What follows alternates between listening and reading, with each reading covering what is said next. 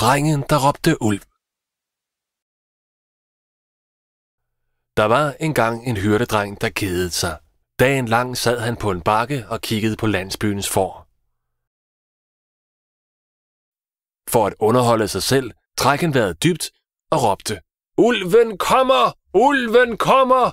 Ulven jager forerne!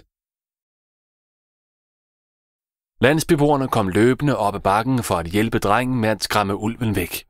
Men da de kom op til toppen af bakken, var der ingen ulv. Drengen grinte, da han så deres vrede ansigter. Sig ikke, at ulven kommer, hørte dreng, når der ikke er nogen ulv, og så gik de sure tilbage ned ad bakken. Lidt senere skreg han igen. Ulven kommer! Ulven kommer! Ulven jager forne!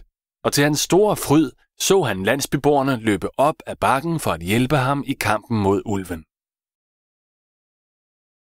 Men da landsbyborgerne så, at der ikke var nogen ulv, sagde de, Gem det råb til, når der virkelig er noget galt.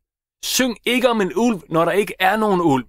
Men drengen grinte bare, imens landsbyborgerne endnu en gang gik sure ned ad bakken. Men senere samme dag så han en ægte ulv luske omkring sin flok får. Forskrækket sprang han op og råbte så højt han kunne. Ulven kommer! Ulven kommer! Men landsbyboerne troede, at han prøvede at narre dem igen, så de kom ikke. Ved solnedgang undrede alle sig over, hvorfor hyrdedrengen ikke var vendt tilbage til landsbyen med forerne. De gik op ad bakken for at finde drengen, og de fandt ham grædende. Der var virkelig en ulv her, og nu har alle mine får spredt sig. Jeg råbte jo, ulven kommer, men hvorfor kom I ikke? En gammel mand forsøgte at trøste drengen, da de gik tilbage til landsbyen. Vi vil hjælpe dig med at lede efter forerne i morgen.